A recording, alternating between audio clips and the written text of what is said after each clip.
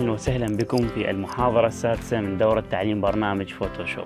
هذه المحاضرة من المحاضرات المهمة والغاية في الأهمية لكل مصمم آه، يبتدئ في مجال التصميم على برنامج فوتوشوب. في هذه المحاضرة إن شاء الله سنحاول آه، عمل تصميم بسيط آه، أولى التطبيقات العملية للأدوات اللي استخدمناهن وشرحناهن في المحاضرات السابقة. في المحاضرات السابقة شرحنا الأداة rectangle والأداة polygon tool وهذه الأدوات خاصة بالتحديد. إضافة إلى شرحنا أداة ال brush وقلنا أداة تستخدم للتلوين.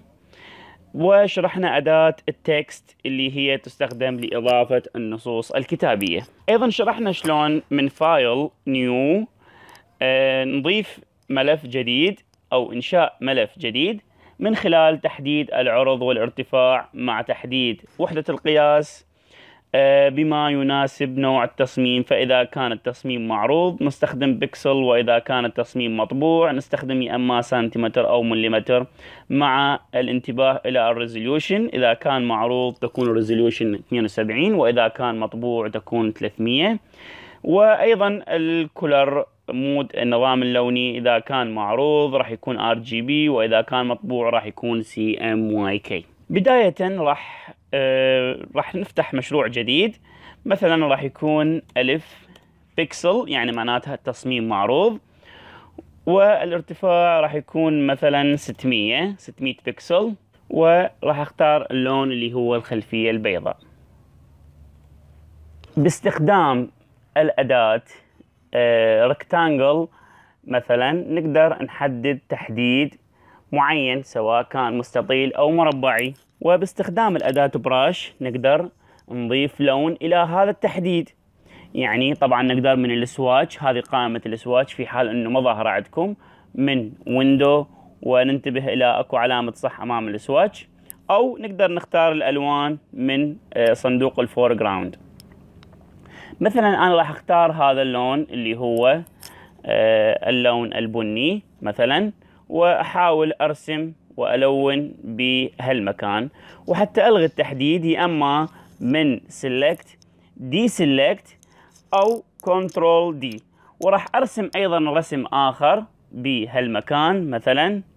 وراح أعطي لون آخر مثلا. ممكن أن أختار هذا اللون. okay. وأيضا من أداة ال brush ألون في هذا اللون. ويا أما control D حتى ألغي التحديد أو من select deselect وأقدر طبعا باستخدام أداة ال brush.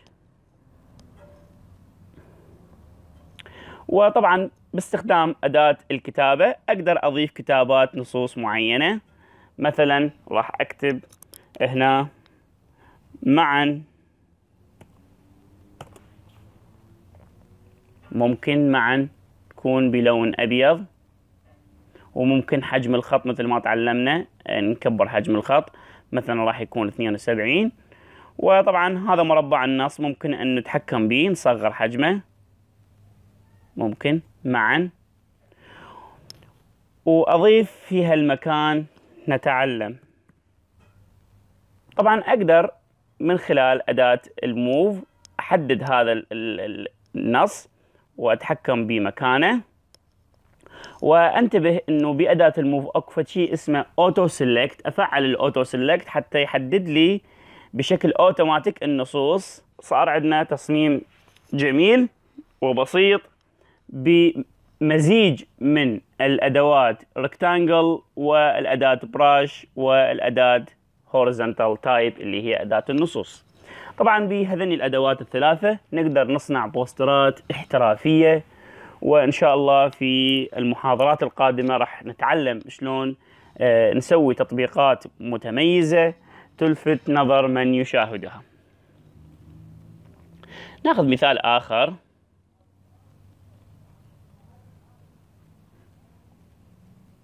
مثلا وليكن آه، ألف بكسل.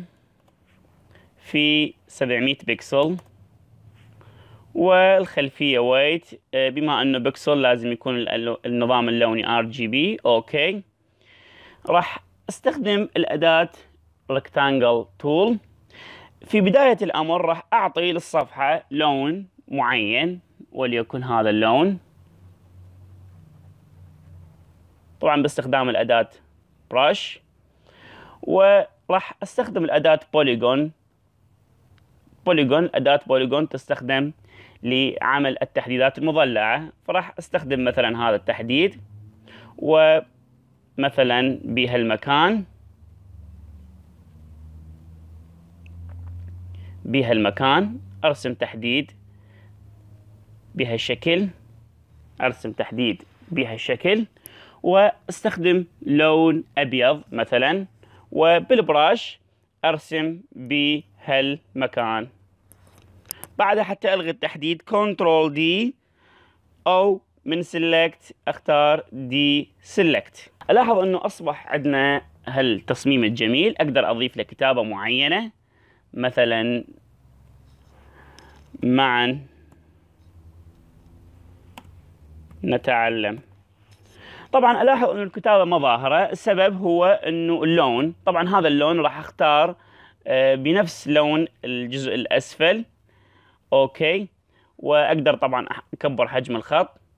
معا نتعلم. ممكن إنه بهالمكان نضيف تنوين. معا نتعلم. طبعا باستخدام أداة ال move. وطبعا لا ننسى نفعل auto select. ونتحكم مثلا ممكن بمكان النص. خليه ممكن بهذا الجزء.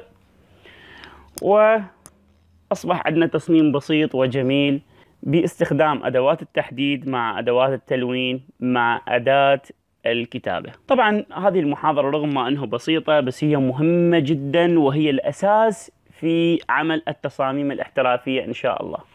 راح ناخذ مثال يعني متقدم أكثر شوية وهذا المثال راح يكون هو واجب هذه المحاضرة. نفتح عمل جديد من فايل New ونختار مثلا قياس ألف بكسل في ارتفاع 700 بكسل 72 الدقة. النظام اللوني أكيد لازم يكون RGB لأن بكسل عندنا يعني التصميم معروض والخلفية ال background راح يكون white.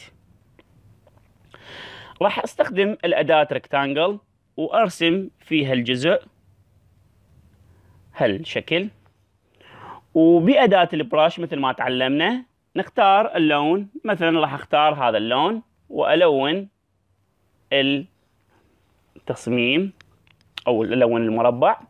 ومن select deselect ومن أداة ال polygon راح أضيف طبعا حتى أكبر الصفحة Alt والرولة إذا أستخدم ماوس يا إما control وعلامة الزائد من ال keyboard. بهالمكان راح أحاول أرسم آه، سهم إلى الأسفل سهم صغير مثلا بهالجزء.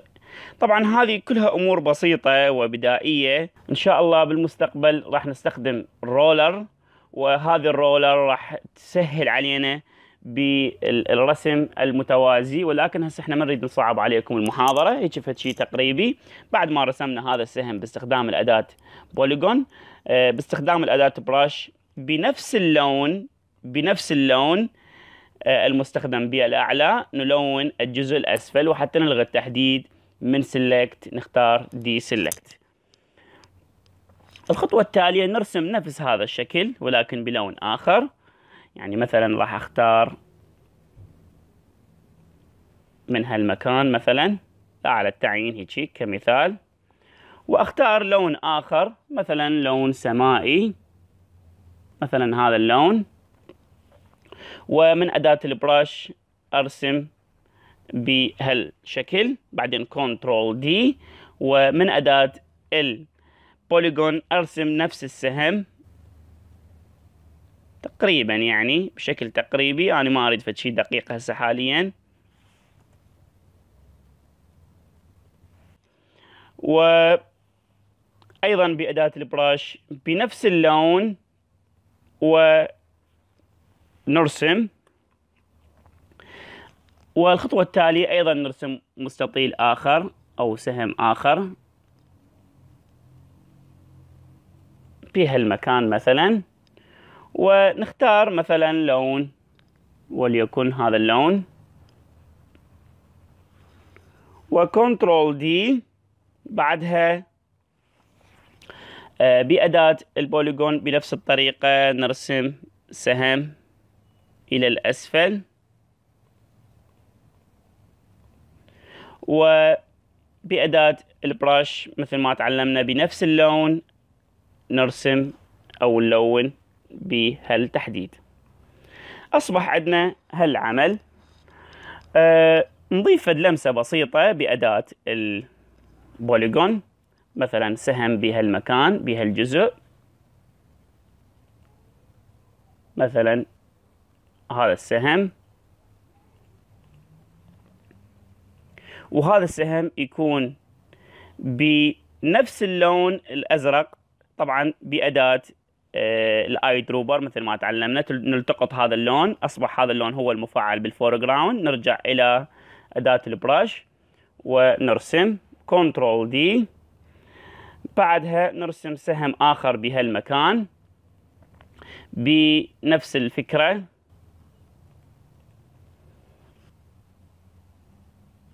بنفس اللون هذا اللون اللي هو السمائي. نلون تمام.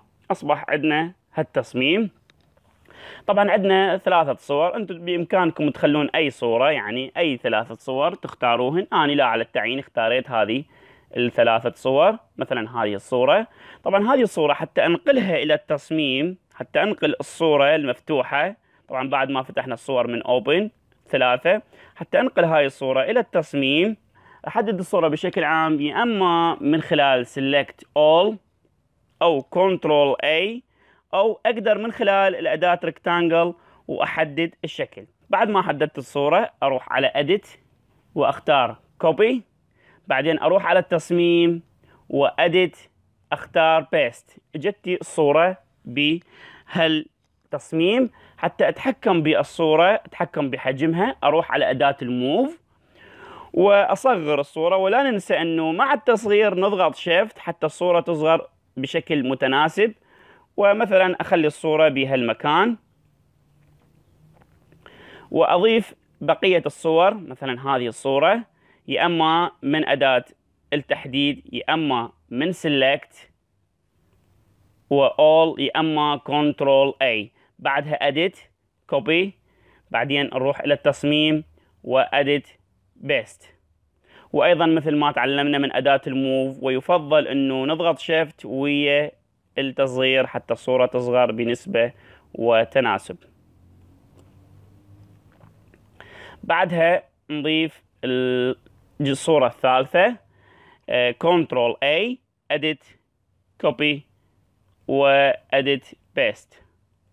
ومثل ما تعلمنا أداة الموف ونصغر حجم الصورة.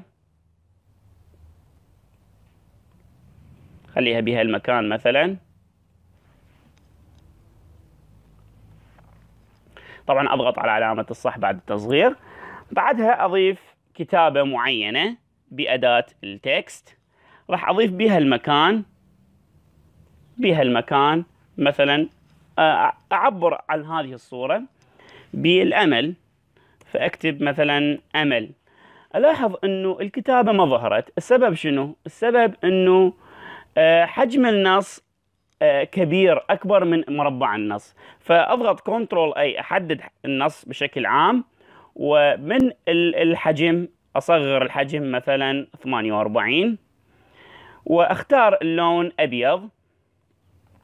بعدها علامة الصح. طبعا اللي يعاني من الكتابة ممكن أن يشاهد المحاضرة الخامسة آه، شارح بها الكتابة بشكل بشكل مفصل أكثر.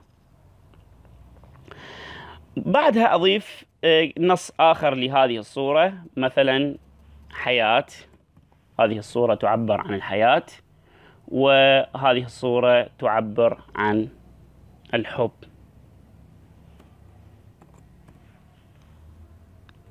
ممكن أضيف نص بالأسفل. لا يأس. مع الحياة.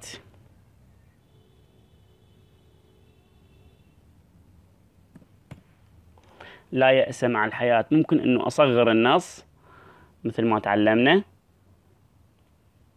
ممكن أختار نص أكبر. لا يأس مع الحياة. وأضيف نص هنا. لا حياة بدون أمل.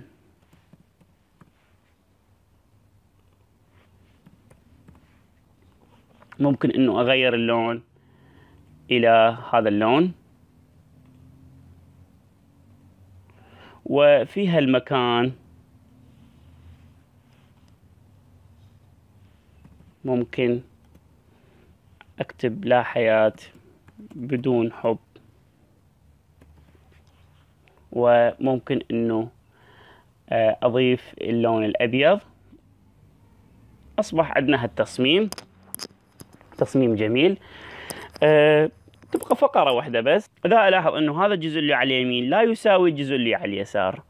وجزء بالأعلى لا يساوي الجزء بالأسفل ويفضل أن تكون الحواف متساوية. طبعا مع هذه الحالة حاول أنه أساوي الحواف من خلال أداة الكروب واللي تعلمناها بالمحاضرات السابقة. أحاول أنه أساوي الحواف قدر الإمكان مثلا بهالشكل وبعدها علامة الصح ألاحظ أنه أصبح عندنا هالتصميم الجميل والبسيط وطبعا راح يكون هو واجب هذه المحاضرة الواجب الثالث. تشتغلون هالتصميم يا أما بهالألوان يا أما بألوان أخرى. بإضافة النصوص بالأعلى والأسفل مع إضافة الصور. وبإمكانكم أن تختارون صور أخرى وكلمات أخرى وألوان أخرى ولكن بشكل عام يفضل أن يكون بنفس الديزاين يعني نفس المحور مع آه، حرية تغيير الصور والألوان والنصوص. نلتقيكم في المحاضرة القادمة بإذنه تعالى.